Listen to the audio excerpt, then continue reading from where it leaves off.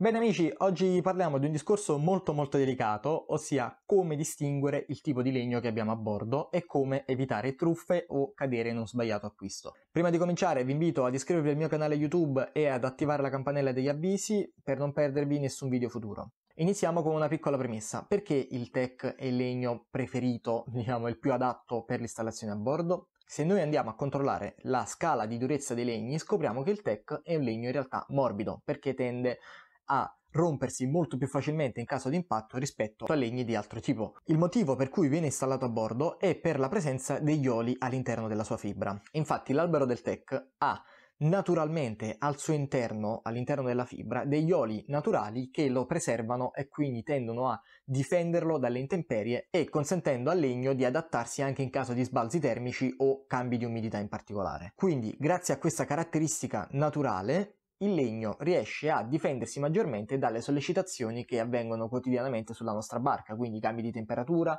cambi di umidità, la salsedine, l'utilizzo dei prodotti, detergenti troppo aggressivi, che in caso di manutenzione sbagliata ovviamente tendono a rovinarlo a volte anche in maniera irreversibile. Ma di questo ne parleremo magari in un prossimo video, fatemi sapere se vogliamo approfondire questo discorso e quindi verrà fatto un video dedicato alla manutenzione del legno. Tornando al discorso, quindi il tech viene scelto a bordo appunto per la presenza degli oli.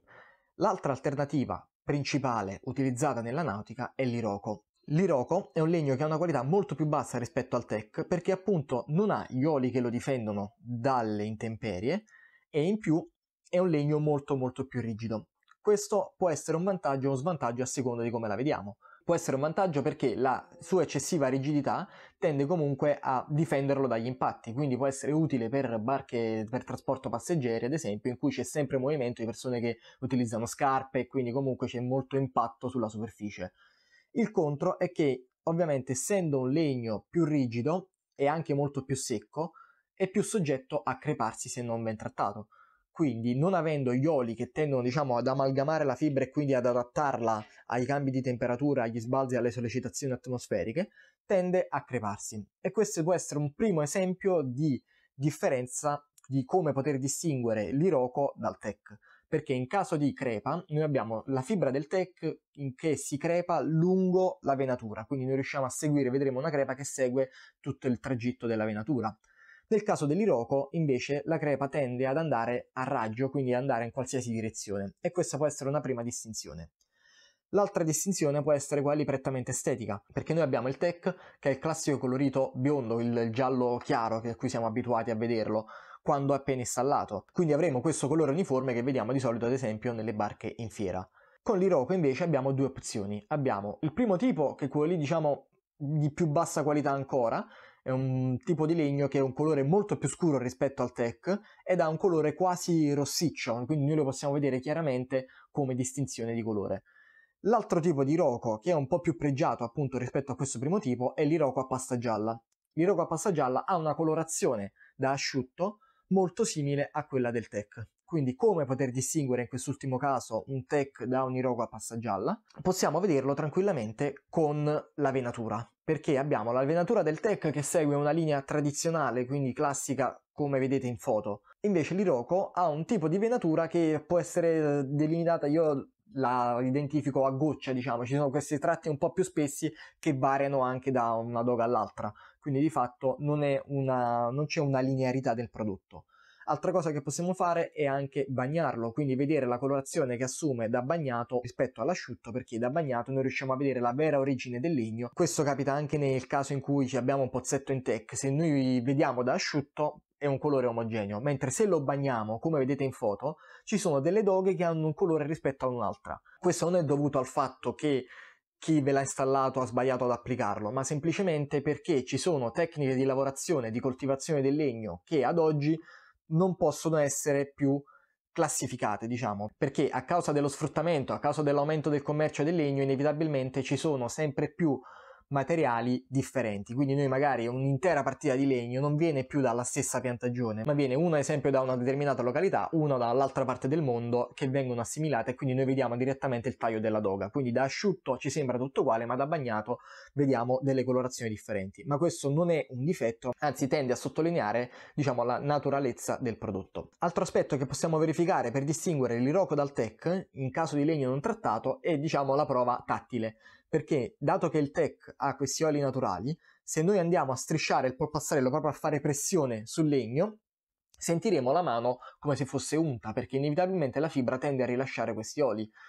Mentre l'Iroco sentiremo una mano asciutta perché appunto la fibra non contiene quest'olio. Questo, vi ripeto, può essere applicabile questo metodo solo in caso di prodotti non trattati, quindi qualora l'installazione sia appena conclusa andiamo a bordo e possiamo fare questa prova, mentre se la barca magari si trova al salone nautico ed è stata trattata non possiamo più farlo perché magari l'olio gli è stato dato artificialmente e di fatto quindi viene meno questa prerogativa di differenza tra una fibra e l'altra.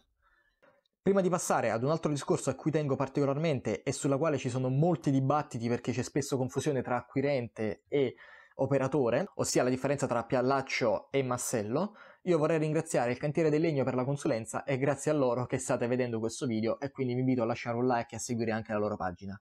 Primo discorso, la differenza tra massello e piallaccio. Il massello si intende la doga per intero, quindi fatta interamente di quel tipo di legno, quindi nel caso del tech abbiamo uno spessore che va dagli 8 ai 14 mm generalmente, interamente di quel tipo di legno. Quindi noi abbiamo 8 mm pieni di questo legno del tech che possiamo quindi tranquillamente carteggiare per molto tempo senza perdere la qualità del materiale. Il piallaccio invece di fatto è un composito, possiamo definirlo composito, perché alla base c'è un legno di una qualità inferiore, che di solito può essere compensato, multistrato o, o cumè ad esempio, di uno spessore maggiore, sulla superficie del quale vengono installati dei fogli, vengono incollati dei fogli che hanno uno spessore dagli 0,6 ai 2,7 mm di spessore, quindi diciamo parliamo di uno spessore molto molto inferiore rispetto al massello, che quindi ci danno l'aspetto estetico una volta montato del legno ben sistemato e installato a bordo. Ma di fatto dopo pochi anni, dopo poche carteggiature, perché di solito i cantieri tendono a carteggiare per questioni di praticità d'uso o magari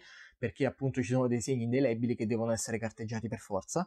Noi quindi ci ritroveremo dopo due o tre sessioni di carteggiatura con il multistrato con l'Okume che risulta fuori, che sbuca fuori. E questo si traduce in un effetto estetico bruttissimo, oltre a, diciamo, essere anche pericoloso per noi perché queste schegge che risultano fuori possono andare sotto i piedi e risultare quindi anche molto molto dolorose. Quindi come poter distinguere una volta installato a bordo il piallaccio dal massello? Dobbiamo andare un attimo a fare un passo indietro e tornare alla lavorazione quindi del legno. Dovete sapere che i piallacci vengono installati in tagli preformati di una lunghezza che vanno generalmente dai intorno ai 3,20 m di lunghezza per 20-25 cm di larghezza. Quindi noi a livello della coperta dovremo avere un occhio molto molto critico e attento per visualizzare una linea di confine nascosta tra le venature. E come possiamo vederla?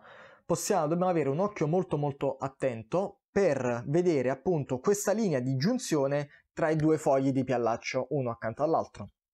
Quindi vedremo non più una venatura che segue ovviamente un aspetto un po' più variabile, ma questa linea dritto per dritto che è dovuta al taglio.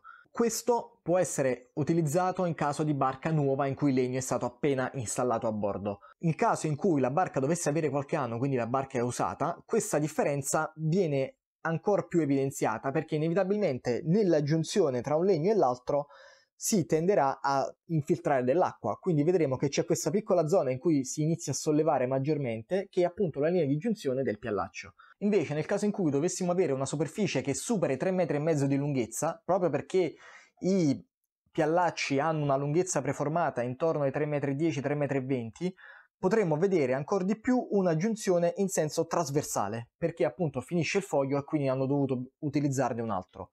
Quindi cari amici, queste sono le informazioni principali per distinguere il tipo di legno che abbiamo a bordo e soprattutto fare la differenza tra un legno massello e un legno impiallacciato. Questa differenza è fondamentale ai fini della durata del rivestimento a bordo. Quindi il mio consiglio è in primis quando voi chiedete un preventivo di lavorazione chiedere la prima cosa che tipo di legno vi montano a bordo.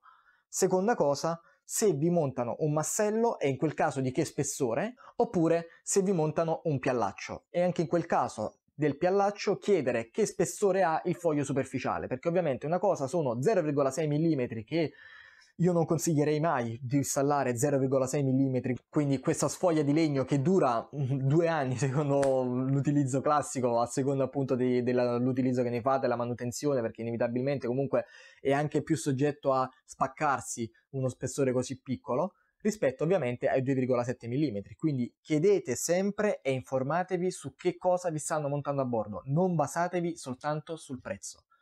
Quindi cari amici, per ora abbiamo concluso.